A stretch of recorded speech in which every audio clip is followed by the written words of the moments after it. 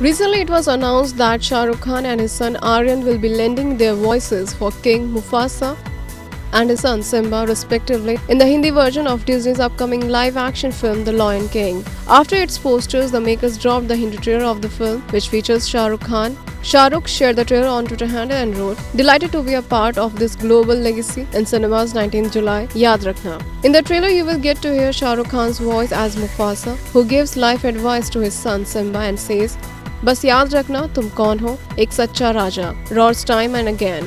While we were hoping to hear Aryan's voice for Simba, the trailer focuses on Mufasa and his cub's adventures. The Lion King will be released in India on July 19 in English, Hindi, Tamil and Telugu.